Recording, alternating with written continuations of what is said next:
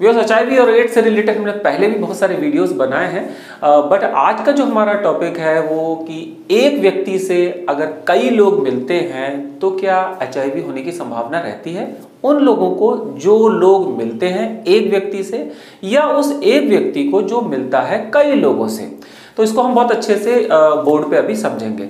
But अगर आपके HIV से रिलेटेड कोई दूसरे भी सवाल हैं इस वीडियो के अलावा भी तो सबसे पहले आप हमारे इस चैनल की प्लेलिस्ट पर जाएँ और वहाँ पर जाकर एचआईवी से रिलेटेड वीडियोस देखें। बिकॉज़ जो सवाल आप मुझसे पूछेंगे, माइट बी पॉसिबल कि वो वीडियो ऑलरेडी वहाँ पर हो। तो एक बार आप उसको ज़रूर देखें। तो वेल, अब आगे बढ़ते हैं इस को, इसको क्लियर करने के लिए कि अगर एक व्यक्ति के साथ कई लोग संपर्क करते हैं तो किस किस को संभावना एचआईवी के होने की हो सकती है? तो चलिए। व्यूअर्स यहाँ पर ये कंडीशन हमने ली है कि अगर ये एक व्यक्ति है और इससे कई लोग मिलते हैं, या ये मान लीजिए कि ये व्यक्ति कई लोगों से मिलता है अलग अलग समय पर तो किसको संभावना होगी? इसको कितनी संभावना होगी या इनको संभावना होगी और कैसे पॉजिटिविटी हो सकती है?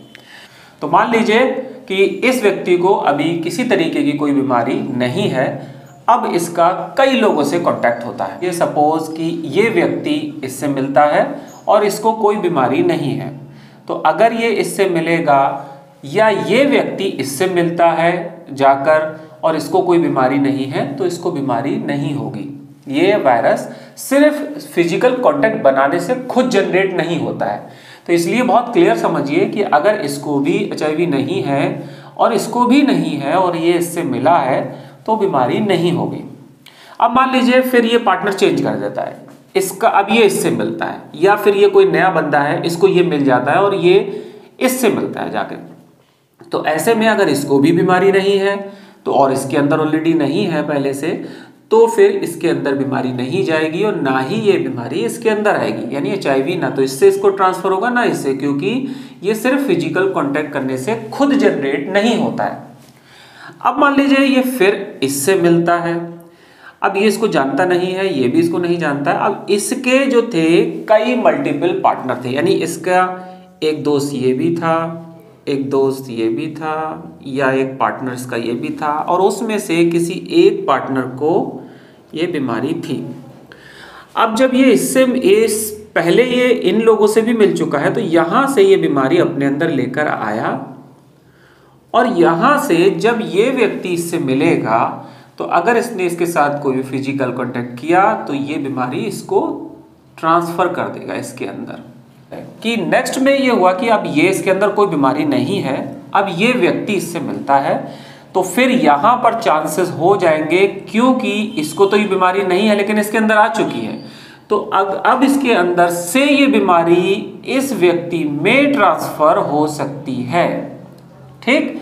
क्योंकि इसके, इससे तो ये बीमारी यहाँ आई, और अब इससे ये टर्न होकर इसके अंदर आ गई। तो ये अगर इससे मिलेगा या ये इससे मिलेगा, बात एक ही है, या ये इससे मिलने जाए या ये इससे मिलने आए तो कोई भी पार्टनर किसी से मिलेगा तो क्योंकि इसके अंदर बीमारी आ चुकी है तो यहाँ से ये बीमारी इसके अंदर ट्रांसफ़र होने के चांसेस रहेंगे। अब मान लीजिए ये व्यक्ति इससे मिलता है कभी जाके, या ये इसके पास आ जाता है तो चाहे ये इसके पास जाए, चाहे ये इसके पास आए तो कुल मिलाकर ये बीमारी एक से दूसरे में ट्रांसफ़र हो ही जानी है बिकॉज़ इसके अंदर ये बीमारी है। तो जब इसके अंदर है तो ये यहाँ से इसके अंदर पहुँच जाएगी। ये व्यक्ति इससे मिलने आता है, या ये व्यक्ति इसके, इससे मिलता है तो भी क्या होगा? सेम वही सिचुएशन क्योंकि इसके अंदर ये पॉजिटिव है, ये व्यक्ति पॉजिटिव है तो यहाँ से ये बीमारी इसके अंदर चली जाएगी। अब ये भी अगर निगेटिव है, इसको बीमारी नहीं है, जैसे ये भी निगेटिव थे, इसके अंदर बीमारी नहीं थी, इसके अंदर भी नहीं थी तो अगर ये इससे मिलेगा या ये इससे मिलेगा तो बीमारी हो सकती है। बट अगर ये इससे मिल लेता है तो बीमारी नहीं होगी बिकॉज़ ना तो इसके अंदर बीमारी है और ना ही इसके अंदर बीमारी है तो ना इसको होगी, ना इसको होगी। अगर ये इससे मिलता है तो भी क्यों नहीं होगी? क्योंकि इसके अंदर भी बीमारी नहीं है, इसके अंदर ही तो इसको भी नहीं होगी, इसको भी नहीं होगी। लेकिन अगर ये इससे मिलेगा, उसके बाद में मान लीजिए तो क्योंकि ये इसको इससे आ चुकी है तो अगर ये अनजान है, ये भी अनजान है, ये दोनों मिलते तो फिर इससे ये बीमारी इसके अंदर ट्रांसफ़र होगी। ठीक? अब कुछ समय के बाद अगर ये अभी तक तो इसके अंदर नहीं थी, अगर ये फिर इससे मिला, इसने सोचा, अरे, ये मैं इससे मिलता हूँ जाके, अब ये अगर इसको मिला तो ये इसको ट्रांसफ़र करेगा। तो इस तरीके से ये एक से दूसरे में जाती है। अगर ये नहीं है किसी के अंदर तो ये बीमारी एक से दूसरे में नहीं फैलेगी।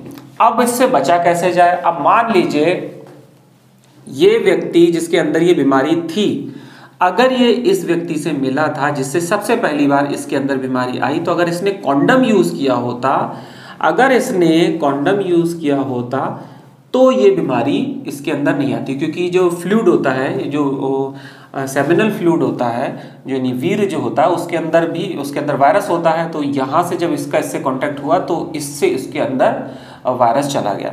तो इससे इसको कैसे रोका जा सकता है कि अगर इसने कॉन्डम यूज़ किया होता तो वायरस इसके अंदर नहीं आता? या फिर मेल फीमेल जो भी कंडीशन आप यहाँ पर रखना चाहें, उस तरीके से आप यहाँ पर रख सकते हैं। ये मेल भी हो सकता है, ये फीमेल हो सकता है, ये फीमेल ये मेल तो उसी, इसी तरह से अगर इसने, अगर ये पॉजिटिव हो गया, होने के बाद अगर इसने कॉन्डम यूज़ किया होता तो इस पार्टनर को एचआईवी ट्रांसफ़र नहीं होता। इसी तरह से अगर ये इससे मिला, अगर इसने कॉन्डम पॉजिटिव होने के बाद भी अगर कॉन्डम यूज़ किया होता तो ये इस व्यक्ति में नहीं आती बीमारी। तो ऐसे ही अगर किसी भी पार्टनर से अगर कोई भी फ़िज़िकल कांटेक्ट हो और उसमें कॉन्डम यूज़ हो तो वो बहुत बड़ी सेफ्टी है और वो आपको R T I S T I जो जनन अंगों पर रोग होते हैं, उनसे भी बचाती है, साथ ही साथ एचआईवी के ट्रांसमिशन से भी ये बचाती है। तो ऑलवेज हैव रिमेंबर कि जब भी किसी से फ़िज़िकल कॉन्टैक्ट हो तो वो हमारे कॉन्डम के साथ में ही होने चाहिए। बेसिकली फ़िज़िकल कॉन्टैक्ट में सबसे बड़ा कंफ्यूजन आज भी लोगों में ये बहुत बड़ा है कि आखिर वायरस आ कैसे जाता है हमारे अंदर? तो इस पर मैंने ऑलरेडी वीडियो बनाया है। आ, आप उसको प्ले में जाकर ज़रूर देखिए कि वायरस आखिर आता कैसे है हमारे शरीर में? हमारे किस रास्ते से शरीर के अंदर वो प्रवेश करता है? तो वो आपको वीडियो हमारा प्ले में मिल जाएगा और बहुत जल्दी और एक अच्छे तरीके से आपका कॉन्सेप्ट भी क्लियर हो जाएगा। तो वेल अगर आपका इसके अलावा भी कोई कन्फ्यूज़न रह जाता है एचआईवी से रिलेटेड तो आप मुझे नीचे कमेंट बॉक्स में कमेंट ज़रूर करिएगा जिससे कि हम उसको नेक्स्ट वीडियो में डिस्कस करें करेंगे। तो वेल नए वीडियो में एक नए टॉपिक के साथ फिर मिलेंगे। Till then keep smiling